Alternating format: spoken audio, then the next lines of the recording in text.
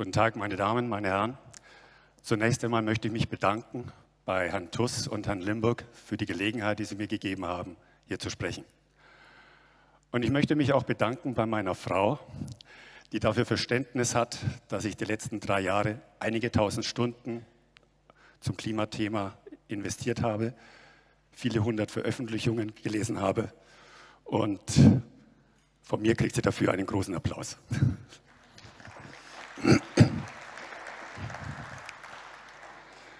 Ja, mein Thema ist die Berechnung absoluter Temperaturen mit dem konvektiv-adiabatischen Modell. Entschuldigung. Ist kein Covid. Ähm ja. ja, okay, man muss genau eine Sekunde drücken. Nochmal. Okay. Also, ähm, ich fange mit der Zusammenfassung an, damit Sie wissen, was auf Sie zukommt.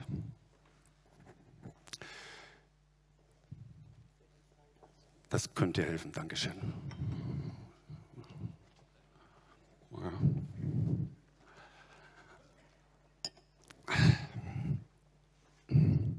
Also, die Temperaturentwicklung seit dem Ende der kleinen Eiszeit korreliert nicht mit dem CO2-Anstieg. Das wissen wir alle. Die Geschichte des konvektiv-adiabatischen Modells zeigt, dass bereits vor 150 Jahren die Ursache für die Temperaturgradienten in den Planetenatmosphären bekannt war. Mit diesem Modell, dem konvektiv-adiabatischen Modell, versuchte Carl Sagan 1960 die Temperatur auf der Venus zu berechnen. Er ist gescheitert, weil die damaligen Schätzungen zu Atmosphärendruck und Temperatur falsch waren. Es gab damals noch keine Satelliten, die zur Venus geflogen sind. Und weil er es falsch berechnet hat und von sich so überzeugt war, dass seine Rechnung ja nicht falsch sein kann, hat er postuliert, dass es einen galoppierenden Treibhauseffekt auf der Venus geben muss. Der Begriff hält sich bis heute bei den Klimaalarmisten, obwohl man mit dem, exakt dem Modell, das er verwendet hat, mit den richtigen Werten für den Atmosphärendruck die richtige Temperatur rausbekommt. Für die Berechnung der Temperatur der Erde ist das im Allgemeinen nicht so einfach möglich, aber es klappt für die konstanten Verhältnisse am Äquator, wie ich zeigen werde. Der Treibhauseffekt durch CO2 wird durch große Gebiete mit Temperaturinversionen und unter dichten Wolken abgeschwächt. Das ist jetzt nicht exakt das Thema des Titels, aber ich glaube, das ist ganz interessant, weil das eine Ergänzung ist zu dem, was Will Happer gestern gesagt hat.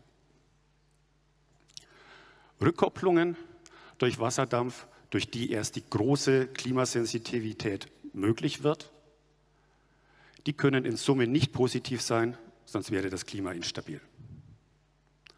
Ja, für meine Arbeit habe ich keine neue Theorie entwickelt. Ich habe einfach nur sehr gründlich recherchiert und Theorie und Messwerte abgeglichen. Das ist eigentlich ein ganz wesentlicher Grund für die Motivation meiner Arbeit. Ja, wie Sie hier sehen, ist die Temperatur von 1910 bis 1940 um ein halbes Grad gestiegen und von 1990 bis 2020 ebenfalls um ein halbes Grad, auch in 30 Jahren.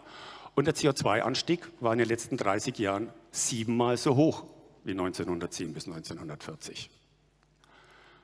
Und äh, diese Anmerkung hier über den IPCC-Bericht von 2013, eine Verdoppelung des CO2-Gehalts führt mit 85 Prozent Wahrscheinlichkeit zu einer Temperaturerhöhung von 1 bis 6 Grad also mit 5% Wahrscheinlichkeit sogar noch weniger, mit 10% Wahrscheinlichkeit höher. Das zeigt, dass die es nicht wissen. Ja, das sind grobe Schätzungen, die mit dem falschen Einsatz von Rückkopplung zu tun haben. Ja, und die Fußnote dazu, die Fußnote dazu, ja, lesen Sie sich das durch, das ist die beste Übersetzung aus dem Englischen um es nicht zu verfälschen, es ist ein schwurbeliges Deutsch, ich konnte es nicht besser, aber es heißt im Prinzip, was wir auch immer sagen, die Modelle stimmen nicht mit Messungen überein. So, jetzt habe ich doch ein Problem mit der Präsentation. Könnten Sie das so einstellen, dass das seitenweise vorwärts geht? Weil ich nämlich Textblöcke gemacht habe, die aber in der falschen Reihenfolge kommen. Geht nicht? Ach so, weil ich das selber machen müsste. Okay, Entschuldigung. Ähm, ja, versuchen wir es. Das konvektiv-adiabatische Modell beruht natürlich auf den Adiabatengleichungen von Poisson, die er vor ungefähr 200 Jahren aufgestellt hat. Und das ist die Gleichung, die ich mehrfach verwende. Die Temperatur ist proportional zum Druck hoch einem Exponenten und in dem Exponenten steht Gamma, das ist das Verhältnis der Wärmekapazitäten eines Gases bei konstantem Druck zum Wärmekapazität, zur Wärmekapazität bei konstantem Volumen. Wenn der Druck zunimmt, nimmt auch die Temperatur zu.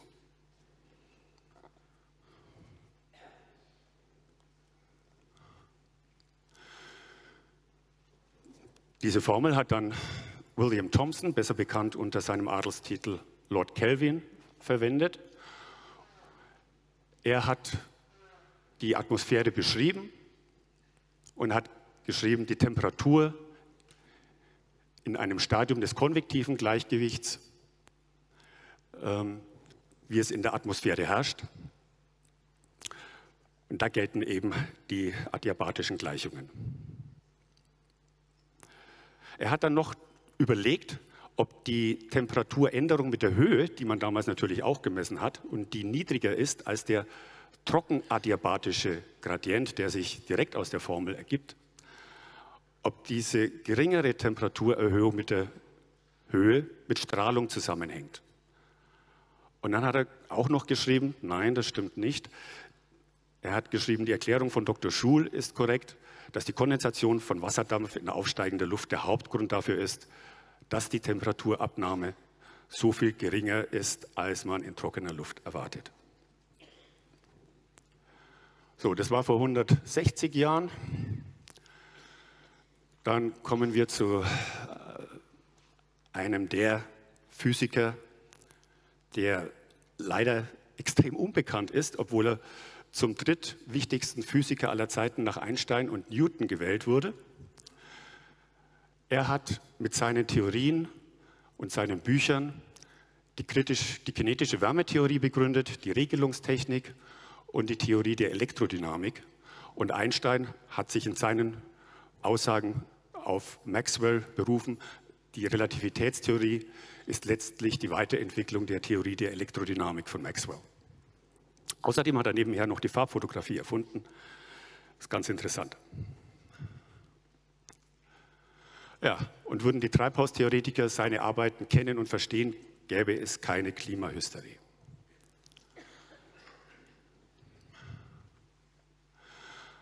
Aus seinem Buch Theorie der Wärme, da steht ein Satz drin, der manchmal von den Alarmisten zitiert wird, nämlich dass die Gravitation in einer ruhenden Gassäule keinen Einfluss auf das thermische Gleichgewicht hat. Eine ruhende Gassäule ist isotherm, da herrscht überall die gleiche Temperatur. Aber er sagt im nächsten Satz, das ist keinesfalls anwendbar auf die Atmosphäre, in der die Sonnenstrahlung das thermische Gleichgewicht stört und ständig Luftmassen von einer Höhe auf eine andere gehoben werden. Und dann sagt er weiter, dadurch besteht ein konvektives Gleichgewicht der Wärme, in dem nicht mehr die Temperatur konstant ist, sondern die Energie. Und das, was in Klammern steht, das ist meine Erklärung, die Höhenenergie plus die kinetische Energie sind konstant. Und dann verwendet er natürlich wieder die Adiabatengleichung.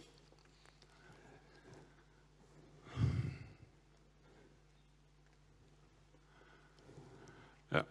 Also der Energieerhaltungssatz bedeutet in der Atmosphäre, dass Moleküle, die nach oben steigen, an potenzieller Energie gewinnen und an kinetischer Energie verlieren. Ja, das ist wie mit einem Stein, den Sie in die Höhe werfen. Der hat zunächst mal kinetische Energie, die wird immer weniger, er gewinnt aber an Höhenenergie. Und wenn er runterfällt, genau das Gleiche. Und so ist es mit den Molekülen in der Atmosphäre auch. Das ist das konvektive Gleichgewicht. In der Atmosphäre muss man das dann noch ergänzen um die Phasenübergänge, die eben dafür sorgen, dass, wenn Wasserdampf drin ist, der dann kondensiert, der Temperaturgradient niedriger wird.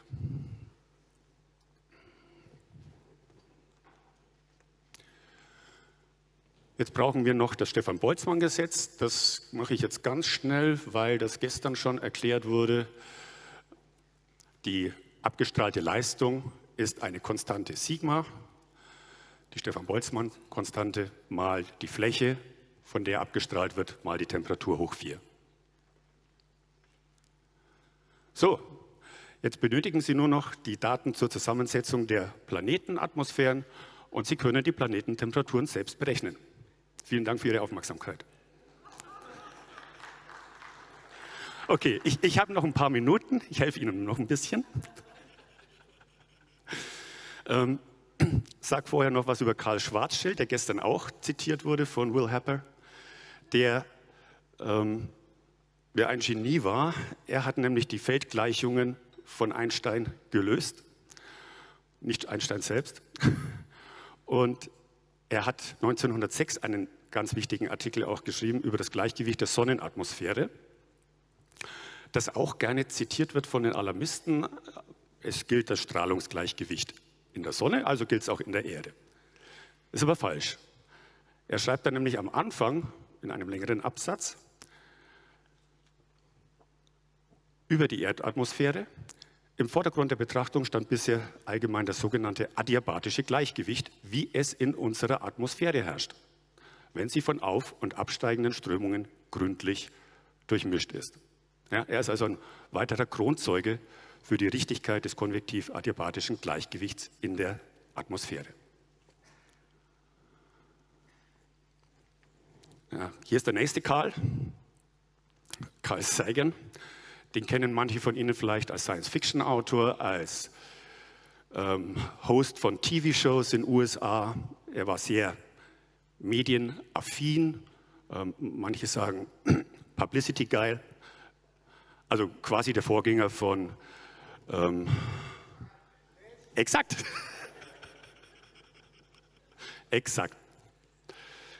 Gut. Er hat über die Venus einen Artikel geschrieben. Und ich glaube, das kommt im nächsten Textblock. ich lasse das mal lieber jetzt. Sorry. Ähm, er hat über die Venus sich informiert, aber zu der Zeit gab es noch keine Venussonden.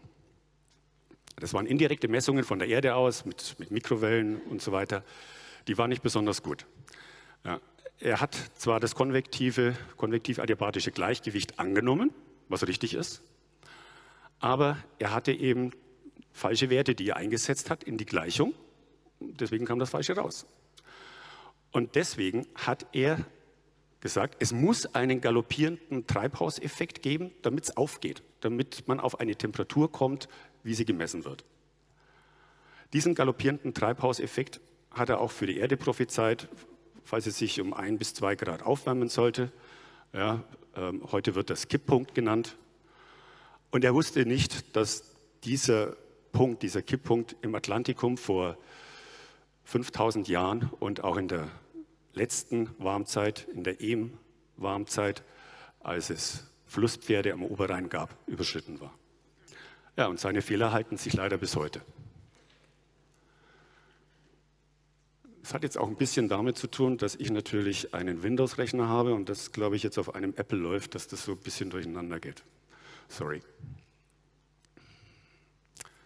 Ah ja, dann kommen wir zu Syukuro Manabe, der den Nobelpreis bekommen hat für seine Klimaforschung.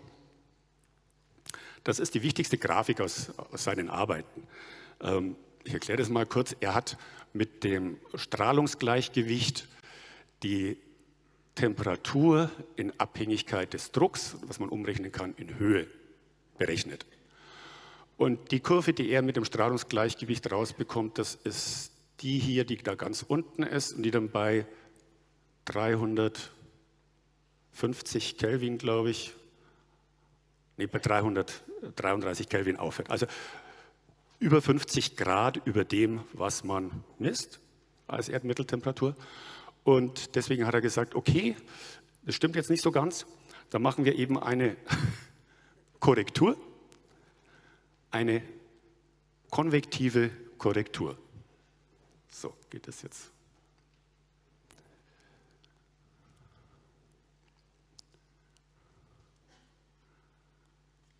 So. Und er hat selbst geschrieben, man muss wissen, wie die konvektive Korrektur einige der unrealistischen Ergebnisse des Strahlungsgleichgewichts korrigiert.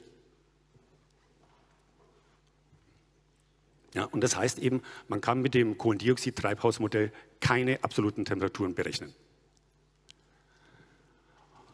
Und weil es nicht geht, sagen uns diese Klimaalarmisten, darauf kommt es ja gar nicht an. Wir müssen ja nur die Klimasensitivität berechnen, also was passiert, wenn sich CO2 verdoppelt.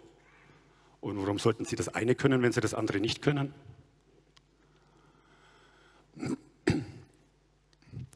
Ähm, jetzt kommen wir zu einer nicht ganz so alten Arbeit, nämlich aus 2012 vom NASA Astrobiology Institute.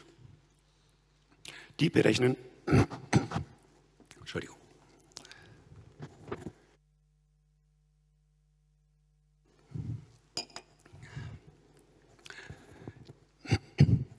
Die berechnen Temperaturen in erster Linie auf Exoplaneten, also außerhalb des Sonnensystems, haben aber auch Temperaturen berechnet für alle Planeten in unserem Sonnensystem. Und die sagen in ihrer Arbeit im Prinzip das gleiche wie Manabe.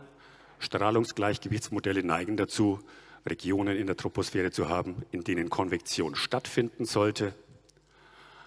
Aber dieser Prozess ist nicht in die Modelle integriert, aber Teil der wesentlichen Physik der Planetenatmosphäre. Daher vernachlässigen Strahlungsgleichgewichtsmodelle die physikalischen Grundlagen der thermischen Struktur. Und dann verwenden sie natürlich auch die adiabatische Gleichung. Sie ergänzen die um einen Faktor Alpha, der steht dann für die Kondensation in den Planetenatmosphären. Das hängt dann davon ab, was wir in den Planetenatmosphären haben an kondensierbarem Material. In der Venus-Atmosphäre ist das Schwefelsäure. Und interessanterweise hat den Faktor 0,8 hier für Alpha auch Carl Sagan verwendet. Also da war er nicht so schlecht. Das ist dann die Kurve oder die Kurven, die Sie rausbekommen. Sie sehen hier die Temperatur aufgetragen über dem Druck der Atmosphäre, dass man auch wieder in Höhe dann umrechnen kann natürlich. Hier bei etwa 0,1 bis 0,15 bar ist die Tropopause. Oberhalb der Tropopause gilt das Strahlungsgewicht, aber eben unterhalb nicht mehr. Unterhalb gilt das konvektiv-adiabatische Modell, was die dann für alle Planeten angewandt haben und zu den richtigen Ergebnissen auch kommen.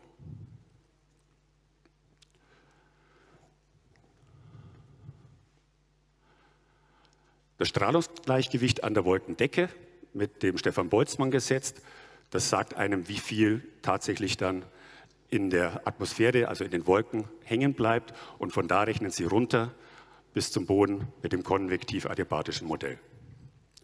Interessant ist auch der Jupiter. Ja, der hat ja eine Atmosphäre aus im Wesentlichen Wasserstoff und Helium, definitiv keine Treibhausgase. Und der wird im Inneren etwa 10.000 Grad heiß.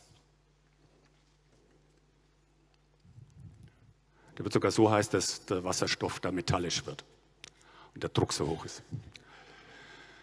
So, jetzt kommt meine Rechnung, eine vereinfachte Rechnung für die Venus. Ich will Sie nicht mit jedem Detail nerven. Ähm, wie mache ich das?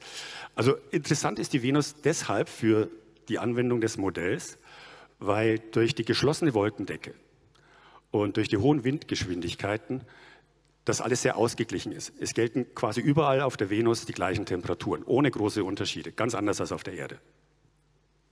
Deshalb kann man Vereinfachungen machen, die ich natürlich gemacht habe. Ähm, interessant ist auch, dass die Reflexion der Venus sehr hoch ist. Das ist ein Bild. Ähm, erscheint weißlich, gelblich. 77 Prozent der Sonnenstrahlung werden reflektiert. dann wissen wir, dass oberhalb der Atmosphäre, oberhalb der, Entschuldigung, oberhalb der Wolken etwas absorbiert wird vom Kohlendioxid. Die Atmosphäre besteht ja zu fast 97 Prozent aus Kohlendioxid. Da habe ich jetzt einen Wert von 1 Prozent angenommen. Bei der Erde sind es oberhalb der Tropopause 2 Prozent. Da ist das Ozon aktiv und äh, das ist da meines Erachtens stärker als das Kohlendioxid bei der Venus. So, dann kann man die effektive Intensität der Sonnenstrahlung, die in den Wolken absorbiert wird, ausrechnen. Ja, eben das, was oberhalb absorbiert wird, abziehen, die Reflexion abziehen und dann durch vier teilen, also Kugelfläche durch, durch Kreisfläche und dann kommt man auf 145 Watt pro Quadratmeter. Eingesetzt in die Stefan-Boltzmann-Gleichung ergibt es eine Temperatur von 225 Kelvin, ungefähr minus 50 Grad. Und bei der Temperatur ist die Schwefelsäure gefroren. Man hat es mit Schwefelsäurekristallen zu tun. Die haben eine sehr hohe Emissivität, Absorptivität. Und das macht es auch wieder einfacher, die, die Vereinfachung anzuwenden. Äh, das ist jetzt schön bunt und ich erkläre das kurz. Man hat die Wolkenoberkante mit drei verschiedenen Methoden gemessen. Das sind einmal die, die Kreuze hier, dann diese Rauten und das ist ein Wort, das ich gar nicht gerne in den Mund nehme, Raute. Und hier die, die Kreise. Und hier sind 220 Kelvin, da 230. Also die 225 Kelvin, die, die stimmen ganz gut für die Temperatur der Wolkenoberkante. Die, Atmos, äh, die, die Autoren dieser, dieses Artikels, die diese Messungen ausgewertet haben, die sagen auch, die Venusatmosphäre wird von oben beheizt. Also nicht so, wie die Klimaalarmisten sagen, ja, es kommt zwar nur wenig unten an, aber weil die Atmosphäre nur aus Kohlendioxid besteht, kommt nichts mehr raus. Das ist falsch. Sie können sie auch nicht berechnen.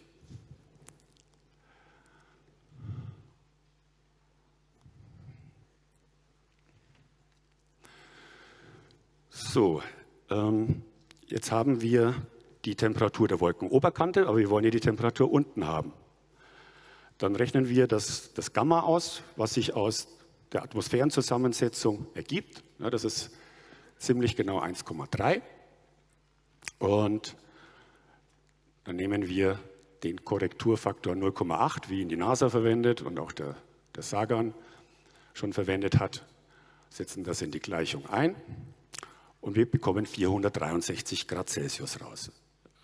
In, in meinem Buch ist es noch ein bisschen ausführlicher beschrieben, da können Sie das genauer nachlesen. Die NASA hat ein Grad höher gemessen, ja, das ist natürlich auch eine gewisse Schätzung, das geben die in ihrem Factsheet an. Also stimmt die Rechnung. Es wurden Vereinfachungen gemacht, natürlich. Ja, der Korrekturfaktor ist nicht konstant genau genommen über die gesamte Dicke der Venusatmosphäre, über die 65 Kilometer, weil die Kondensation nicht in jeder Höhe die gleiche ist. Und die Absorption der Sonnenstrahlung beginnt etwas oberhalb der der Wolken und setzt sich in den Wolken natürlich fort. Das müsste man genauer rechnen, so hat es die NASA gemacht. Aber die Fehler scheinen nicht groß zu sein und kompensieren sich etwas. Wie gesagt, die Treibhaustheoretiker kommen nicht mal in die Nähe eines plausiblen Ergebnisses. Ja, und die Quintessenz ist, gäbe es einen zusätzlichen starken Treibhauseffekt durch Kohlendioxid auf der Venus, wären der Tem Temperaturgradient und die Temperatur an der Oberfläche viel höher als die gemessenen Werte. Aber was sagen die Klimaalarmisten? Ich lese das jetzt nicht im Detail vor. Ähm, ich erwähne die führenden Klimawissenschaftler Deutschlands, Rahmsdorf, Schellenhuber, Lesch, sagen im Prinzip alle das Gleiche. Ja, besonders schön ist eigentlich das vom Lesch. Das Video muss man sich mal anhören. Eine Atmosphäre aus reinem Kohlendioxid, da ist ja wohl klar, was vor sich geht. Treibhauseffekt, galoppierend kann ich da nur sagen, theatralisch. Da kommt überhaupt nichts raus. Ja. Natürlich steht beim Umweltbundesamt und, und, und auf vielen Webseiten der gleiche Quatsch. Aber wer im 21. Jahrhundert noch von einem galoppierenden Treibhauseffekt auf der Venus spricht, kennt die aktuelle Literatur vermutlich nicht, um es freundlich zu formulieren.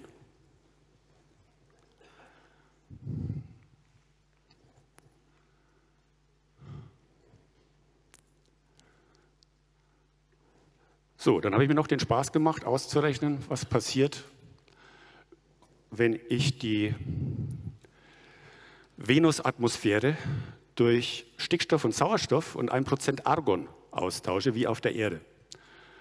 Ja, dann bekommt man das Gamma von 1,4.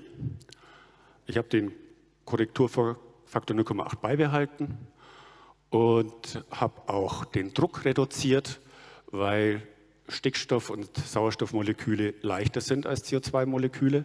Habe dann nur noch 61 Bar Druck auf der Oberfläche statt 92. Albedo und Sonnenintensität habe ich auch gleich gelassen. Und das Ergebnis ist eine Temperatur von 619 Grad. Also 150 Grad höher. Wenn die Venus keine CO2-Atmosphäre hätte, sondern genauso viele Moleküle Stickstoff und, und Sauerstoff, wäre die Temperatur 150 Grad höher. Und warum habe ich daran keinen Zweifel? Weil die Rechnung eben für alle anderen Planeten auch stimmt mit ganz anderen Atmosphärenzusammensetzungen.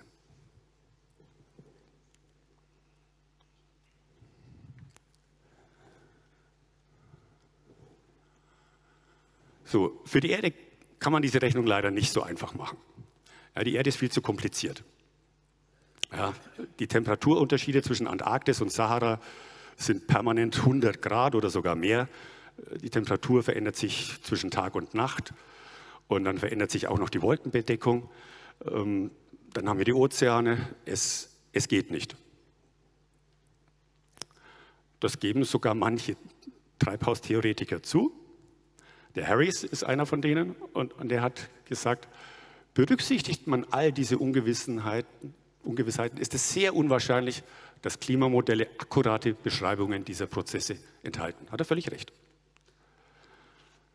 Denn die Erde wird von oben über die Absorption der Sonnenstrahlung in den Wolken und von unten über die Wasser- und Erdoberfläche erwärmt. Und das ist extrem variabel. Weil das so variabel ist, sollte man es aufgeben.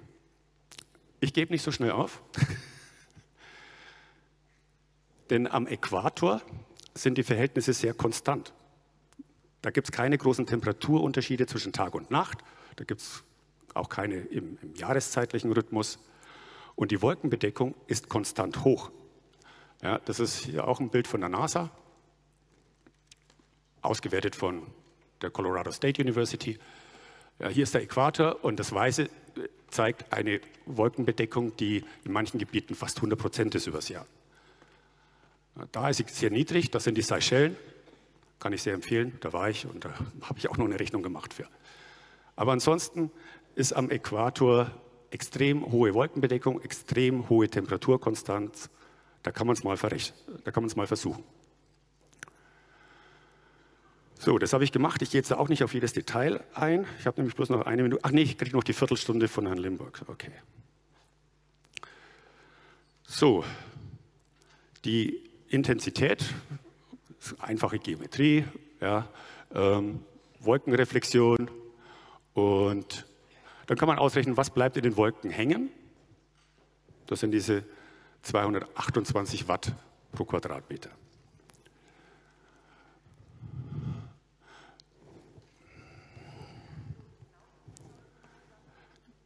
Nee, Herr Limburg hat mir gesagt, ich habe seine Viertelstunde noch, die er jetzt kommen würde. Ja? Ja, jetzt käme ja Herr Limburg mit seiner Viertelstunde.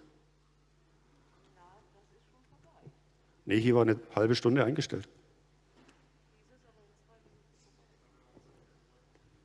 Herr Limburg? Okay, danke. Wäre jetzt blöd, an der Stelle aufzuhören. Gut. Ähm Ach nee, ich habe es nicht mit Herrn Limburg diskutiert, sondern mit Herrn Müller. Entschuldigung. Der hat es gesagt. Gut, ich mache ein bisschen schneller. Ja, ähm, wir haben die Temperatur der Wolkenoberkante. Dann schauen wir uns an, wo liegt die? Die liegt bei 8,4 Kilometer. Dann schauen wir uns noch an, was ist die, die Lapse Rate, also der Temperaturgradient. Da gibt es auch eine Veröffentlichung aus Ostafrika. Das liegt dann zwischen dem ähm, Temperaturgradienten, den wir in Mitteleuropa haben, und dem feuchtadiabatischen Gradienten von, von 5 Grad pro Kilometer. Und wenn ich das dann einsetze, ja, dann komme ich auf eine Temperatur von 27 Grad Celsius. Sind natürlich wieder ein paar Vereinfachungen gemacht worden. Die kann man alle nachvollziehen. Und was misst man? Man misst 27 Grad im Mittel bei den Inselgruppen am Äquator, sowohl für die Wassertemperatur als auch für die mittlere Lufttemperatur. Aber es liegt jetzt nicht nur an den Ozeanen und deren Speicherfähigkeit, dass das da so konstant ist und übereinstimmt. Ähm, ich habe auch mal die Grafik von Manaus in Brasilien mir angeschaut, von der NASA GIS Webseite, 27 Grad bis ungefähr 1980, dann steigt es an, weil die Einwohnerzahl von 300.000 auf 2,2 Millionen zugenommen hat. Auch hier liefert also die Rechnung mit dem konvektiv-adiabatischen Modell das richtige Ergebnis. Ähm, das mache ich jetzt richtig kurz. Ich habe das Strahlungsgleichgewicht angewandt auf die Verhältnisse der Seychellen, habe für die ähm, Reflexion vom Sand 40 Prozent angenommen.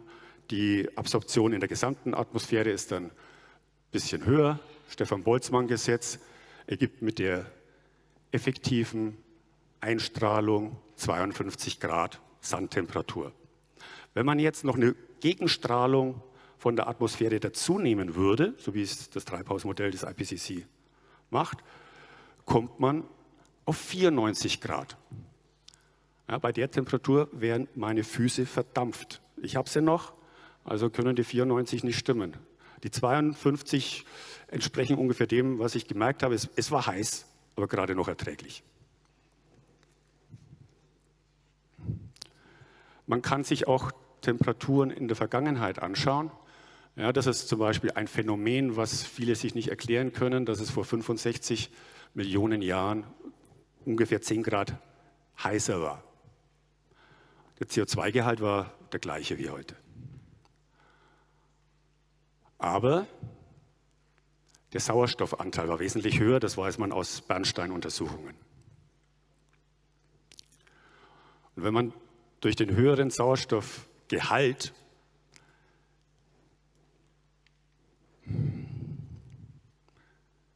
wenn man das mit dem höheren da fehlt jetzt wirklich wieder was.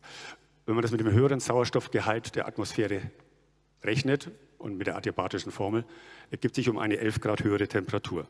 Das passt also auch. Die Rechnung passt auch für das Paradoxon der schwachen jungen Sonne, das Faint Young Sun Paradox. Vor vier Billionen Jahren war die Sonne wesentlich schwächer. Das ist die relative Sonnenintensität. Ja, eins ist heute und vor vier Millionen Jahren war es ungefähr 30 Prozent schwächer. Und da hätte die Erde gefroren sein müssen, ein, ein Eisball. Aber man weiß aus geologischen Untersuchungen, dass sie das nicht war. Die war wahrscheinlich sogar 30 Grad wärmer als heute. Ja, wie kann man sich das erklären? Man weiß aus den geologischen Untersuchungen auch, dass es wesentlich mehr Stickstoff in der Atmosphäre gab. Zwei bis drei Bar. Und wenn man das dann einsetzt in die Rechnung, kommt man auf 41 Grad, also ungefähr 26 Grad mehr als heute. Passt auch. Ja, es gibt Erklärungsversuche mit Treibhausgasen. Das hat Carl Sagan schon versucht mit Ammoniak, war falsch man bräuchte, ich weiß gar nicht, wie viel CO2 in der Atmosphäre, ähm, aber das konnte man auch nicht nachweisen, dass es diesen CO2-Gehalt gegeben hätte. Man hat bisher keine Erklärung, aber so kann man es sich erklären. Die Grafik haben Sie gestern schon gesehen mit dem CO2-Trichter in der Sahara und mit dem CO2-Buckel. In der Antarktis. Und das kann ich abkürzen deshalb.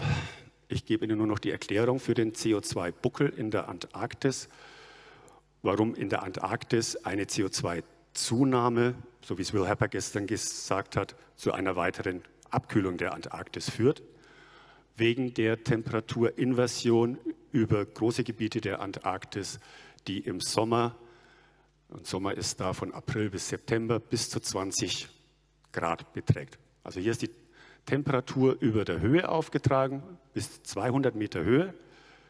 Und wenn man 200 Meter höher ist, misst man im, im Sommer 20 Grad mehr. Ja, bei uns würde man 2 Grad weniger messen. Und diese Temperaturinversion, die ist permanent in der Antarktis, weniger natürlich im antarktischen Sommer. Dafür ist dann bei uns in der Nordhalbkugel Winter und wir haben in der Arktis eine Inversion. Es gibt zusätzliche Inversionsgebiete äh, über kalten Ozeanen vor Kalifornien. Das ist da ganz bekannt. Ja, Mark Twain hat mal gesagt, der kälteste Winter, den er je erlebt hat, war der Sommer in San Francisco. Ja, da, hatten, da, haben sie unten wirklich kalte Temperaturen. Ich, ich habe da leider auch leben müssen eine Zeit lang. Und äh, 100 Meter höher wäre es deutlich wärmer. Ja, und diese Temperaturinversion, die gibt es auf einer ziemlich großen Fläche von ungefähr 30 Millionen Quadratkilometer permanent. Und ich glaube, das fehlt in allen Klimamodellen der Treibhaustheoretiker. Ich habe eine Arbeit gefunden im IPCC-Bericht von 2013. Ja, da steht Arctic Winter Warming Amplified by the Thermal Inversion, ja, was falsch ist. Und deshalb ist sie in den Folgeberichten auch nicht mehr drin. Ich glaube, Will Hepper hat auch was äh, zu den Wolken gesagt, wie die sich auswirken. Ähm, also hier wieder eine Kurve bei klarem Himmel, CO2-Trichter, Ozontrichter, Wasserdampf und hier auch Wasserdampf. Und die untere Kurve hier, die zeigt beim CO2 einen kleinen Buckel und auch beim Ozon. Ja, das ist über einer Gewitterwolke aufgenommen worden und da spielt also das CO2, das drunter ist, überhaupt keine Rolle. Und das bestätigt auch Richard Linson in seinem Artikel on Climate Sensitivity. Ja, ähm, wir haben also keine Erwärmung durch CO2 bei klarem Himmel falls keine Bodeninversion stattfindet. Und das trifft nur auf ungefähr ein Viertel der Erdoberfläche zu. Und es gibt eine Abkühlung durch CO2 in den Inversionsgebieten und kaum einen Einfluss, wenn hohe, optisch dicke Wolken vorhanden sind. Kommen wir noch ganz kurz zu den Rückkopplungen. Da muss ich die NASA wirklich zitieren, diesmal im Negativen. Die schreiben auf ihrer Webseite bei NASA GIS, Goddard Institute for Space Studies, zunehmender Wasserdampf führt zu wärmeren Temperaturen, wodurch mehr Wasserdampf in die Luft aufgenommen wird. Erwärmung und Wasseraufnahme nehmen in einem ständigen Kreislauf zu. Ja, ein Teufelskreis. Ja, wer stoppt den? Wer, wer stoppt den? Die, die Klimamystiker, der Papst? Ja, das macht keinen Sinn. Diese positive Rückkopplung macht keinen Sinn. Systeme mit positiver Rückkopplung sind instabil. Unser Klima ist aber ziemlich stabil seit 10.000 Jahren mit nur geringen Veränderungen, die von natürlichen Einflüssen kommen. Richard Linson hat auch das bestätigt. Alle Modelle stimmen in Bezug auf positive Rückkopplung überein und alle Modelle stimmen mit den Beobachtungen überhaupt nicht überein. Die positive Rückkopplung ist wissenschaftlich unhaltbar. Man kann sagen, ja, vielleicht gibt es eine gewisse positive Rückkopplung durch Wasserdampf, aber dann muss es gleichzeitige und stärkere negative Rückkopplungen geben. Sonst wäre das Klima instabil.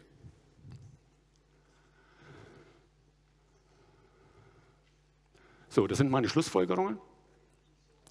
Ja, die Strahlungsmodelle entstanden infolge falsch interpretierter Messungen. Sie sind unphysikalisch. Sie können absolute Temperaturen nicht berechnen. Mit dem Strahlungsgleichgewicht an der Wolkendecke und dem konvektiv-adiabatischen Modell kann man absolute Temperaturen für die meisten Planeten richtig berechnen.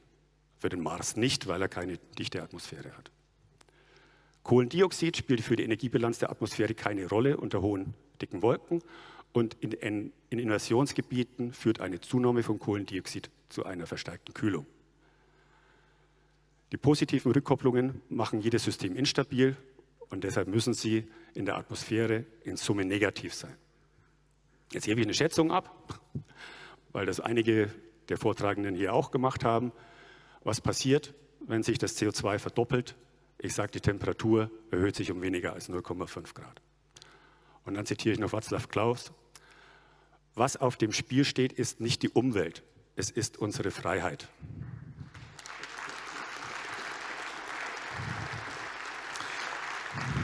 Danke. Wie hat Steve Jobs am Ende immer gesagt, eins habe ich noch.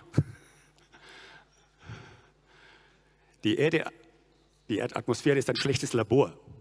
Ja, man kann die Atmosphäre nicht austauschen. Aber warum gibt es nicht schon längst einen, sagen wir, 100 Meter hohen Klimaturm? Innen verspiegelt, um die äh, Strahlung nicht verloren gehen zu lassen, beheizbarer Boden, emulierende Strahler an der Decke und dann tauschen wir das Innere aus. Ja, das kostet wie viel? Das kostet ein Prozent von dem, was Jens Spahn letztes Jahr für Masken ausgegeben hat. Oder? Ja, man hätte innerhalb kürzester Zeit Klarheit über den Wahrheitsgehalt der Treibhaustheorie. Aber vielleicht ist das ja gar nicht gewollt. Gut. Vielen Dank nicht nur für Ihre Aufmerksamkeit, sondern in erster Linie dafür, dass Sie da sind, denn ohne Sie wäre diese Tagung nicht möglich.